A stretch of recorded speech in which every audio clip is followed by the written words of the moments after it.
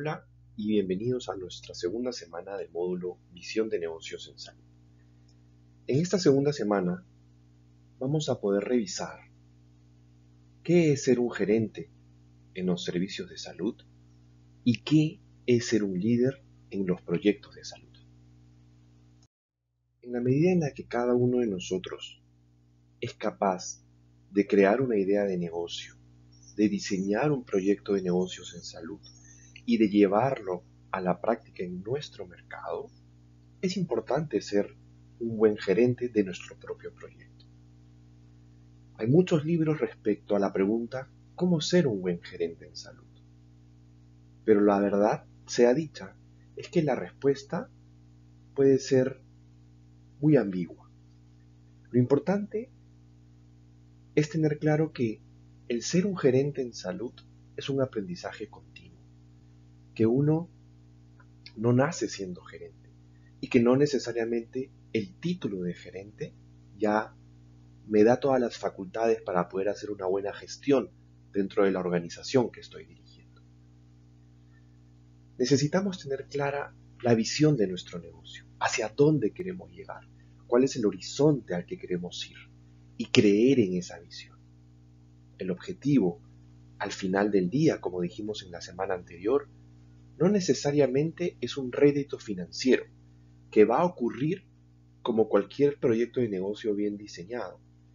Pero el espíritu esencial del gerente tiene que ver con trascender a través de mi propuesta de valor en el mercado donde estoy compitiendo.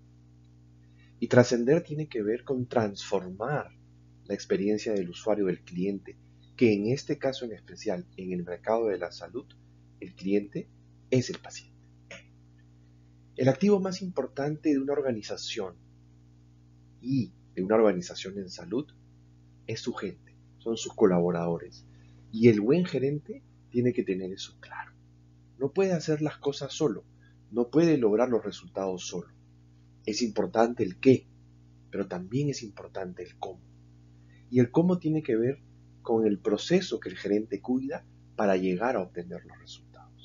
Y el cómo tiene que ver con cómo este gerente gestiona sus recursos, que pueden ser financieros, estructurales, materiales, logísticos, etc., pero que también tiene que ver con la gestión de su gente, de sus colaboradores y de su equipo de trabajo. Ahora bien, una pregunta que siempre nos hacemos es, ¿un gerente siempre es un líder? O podemos preguntarlo al revés, ¿un líder siempre es un gerente? Y la respuesta, que también está expresada en muchos libros que han hablado sobre este tema, puede ser que no. Puede ser que un gerente no siempre sea un líder. Es decir, ser gerente y ser líder no es algo que se garantice con el simple hecho de tener el título de gerente de mi organización. Yo necesito desarrollar mis capacidades como gerente, pero también necesito desarrollar mis habilidades como líder. Y en ese orden de ideas, el liderazgo en salud es importante porque nos permite transformar nuestro sistema a través de la visión que yo estoy teniendo, como dijimos hace un momento, de la propuesta de valor y cómo esa propuesta de valor va a ir en beneficio del mercado en el que yo estoy compitiendo. Recordemos que en salud, el mercado en donde yo estoy compitiendo tiene al paciente en medio, tiene al paciente como centro de todos nuestros esfuerzos. Cualquier proyecto de salud que yo emprenda, cualquier idea de negocio que yo emprenda en salud, tiene que ver con beneficiar finalmente a este tipo de cliente en especial, que es un paciente o es una persona sin enfermedad que está buscando su bienestar. Desde ese lugar uno crea un proyecto para trascender.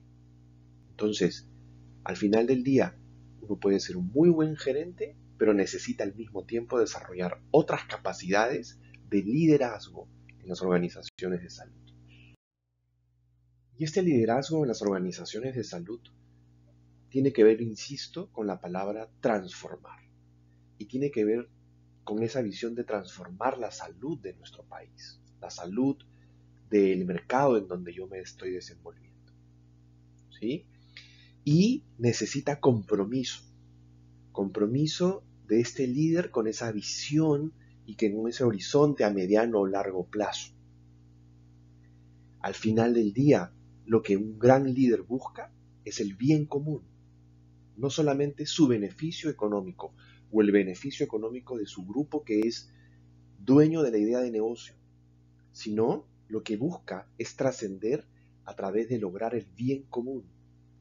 Y en este caso el bien común significa más salud para nuestra población, para nuestro mercado, más bienestar, eh, en términos de recuperar la salud que se ha perdido, en términos de rehabilitar, en términos de curar, en términos de prevenir.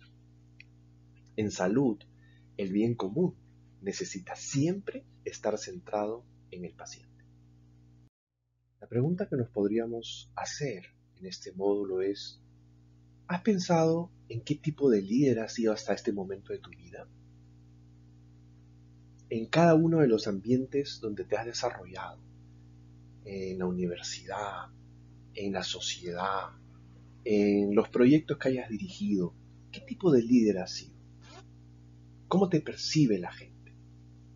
Y si fueras a emprender a partir de este curso tu propio proyecto de negocio, la gran pregunta sería, ¿qué tipo de líder te gustaría ser? Entonces, nuestras principales conclusiones de este módulo son, un gerente en salud gestiona los recursos de la organización, sí, y busca los resultados, sí, y se preocupa por el qué, qué voy a lograr. Pero también un buen gerente cuida el proceso, y eso es el cómo lo voy a lograr. Ser gerente no garantiza ser líder, pero ser líder es clave para llevar y, y transformar a todo el sistema de salud y llevar a la organización al éxito. La visión y el compromiso con el bien común es el espíritu del líder. Y ese bien común en el mercado de la salud tiene que ver necesariamente con el beneficio del paciente. Gracias nuevamente por habernos acompañado en este módulo y nos vemos en el siguiente.